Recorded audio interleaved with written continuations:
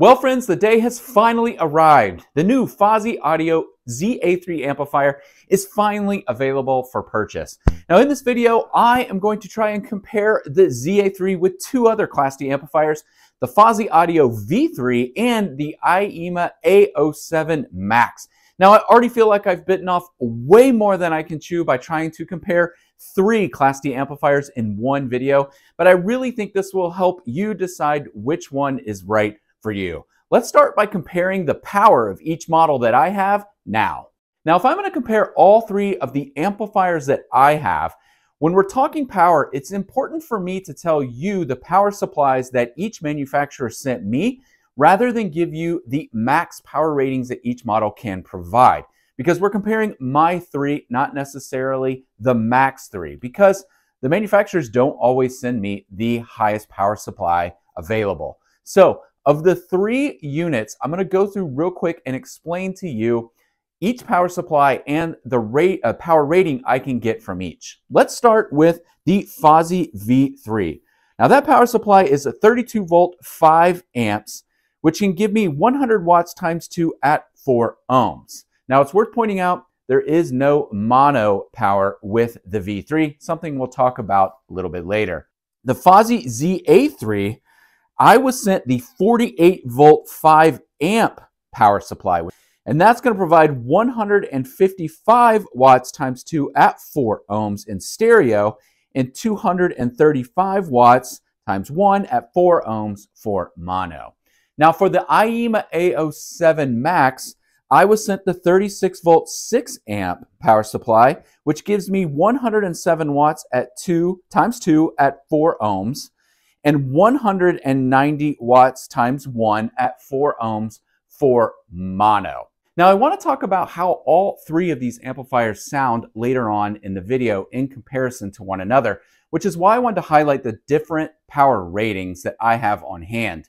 But what's also interesting is all three of these amplifiers use the exact same amp chips and op amps. They all use the Texas Instruments TPA 3255 as the amp chip, and they all use the NE 5532 op amp chip, all three of which can be swapped for the op amps. So what I'm curious is, since all of these have basically the same guts, is that going to mean they sound different?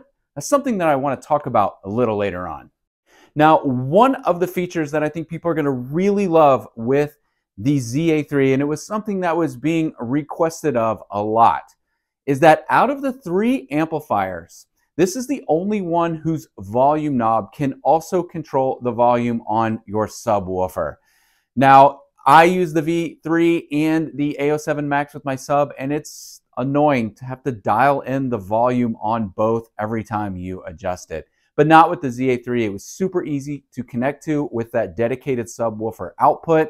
And the volume has been easy to manage on both units through all my listening sessions. Okay, let's talk pricing between these three units because I was actually surprised the difference between all three. Now, the A07 Max comes in at just $80. The V3 is $100 at list price, and I think it's currently on sale for $90. Now, this is where things get interesting because the uh, ZA3 actually has two price levels.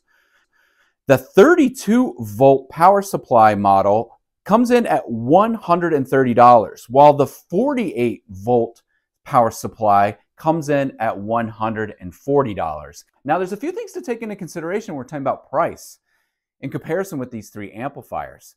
Now, if you just want to get in the game at the best price possible, and you have no interest in using an amplifier as a monoblock, meaning one amp per speaker, then you could just get the V3 because it doesn't have the capability to be used as a monoblock.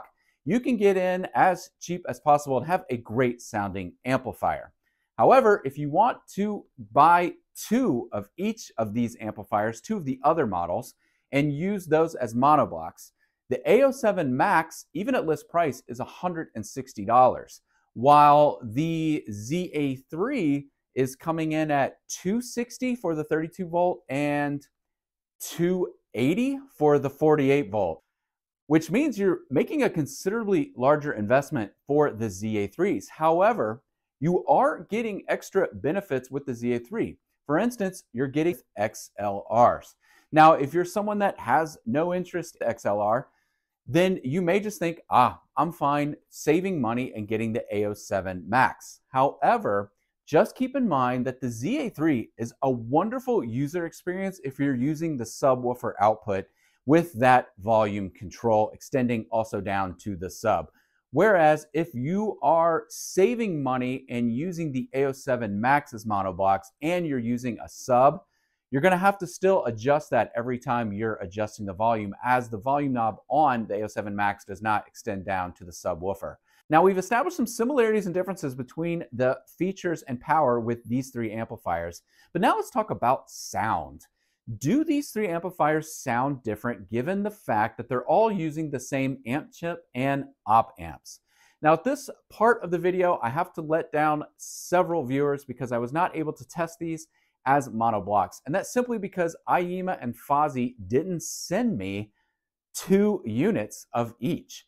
And I think that's going to actually be a common thing with anyone reviewing the ZA3, unless someone thought ahead enough, not me, to ask for another review model. They only really sent out one of each. So I just wasn't able to make monoblock comparisons. So we're going to stick with stereo comparisons here, but I still think it's pretty interesting about what I heard when listening to all three of these in stereo mode.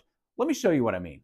Now, it's important to note during this sound comparison, I first tried to do it with the subwoofer, which was nearly impossible because of the two amps that don't have the volume control for the sub, it was just nearly impossible to dial in every, to dial in each of those amps and their sub, get all the volume the same, and then still kind of be able to recall what I just listened to when cycling through each amplifier. So I removed the sub from each of the amps and then began listening through, which starts, I started with the Fosi Audio V3 and then I went with the A07 Max and then the ZA3. And then I cycled back through all over again. I know what you're thinking. I need more friends. You're probably right. So what was I able to hear? Overall, I have enjoyed using the V3 amplifier. I think it's a great sounding amplifier for the price. But as I began to upgrade to the uh, A07 Max and then the ZA3, I started to hear things a little differently. And I can pretty much summarize it like this. The vocals get more forward with each amplifier. So the A07 Max is a little more forward than the V3 and the ZA3 even a little bit more forward with the than the AO7 Max. I found the ZA3 had the best sounding uh, guitars within these songs, especially the acoustic guitars. They came across really musical. Now, the bass is definitely there with the V3, even without the subwoofer. But what I could hear is just more musical bass. Like you could actually hear tones being played.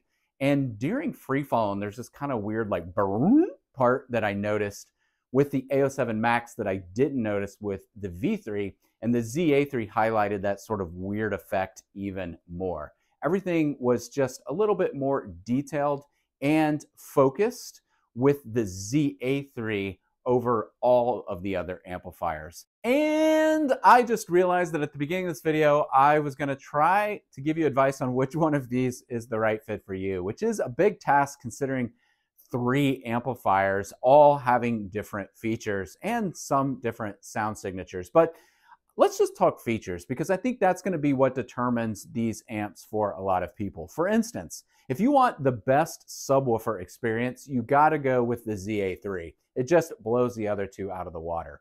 If you don't have a subwoofer and you have no interest in using any of these amps as mono monoblocks, you just want a stereo amplifier at a great price that sounds great, the Fosi V3 is still tough to beat for that. If you're someone that wants to get affordable monoblocks and doesn't have a subwoofer or doesn't mind that if you pair the subwoofer with the A07 Maxes that you're going to have to adjust the volume on the sub and the A07 Max amplifiers separately. If that doesn't bother you, then you can still get in with those at basically what you're going to pay for one of the ZA3s.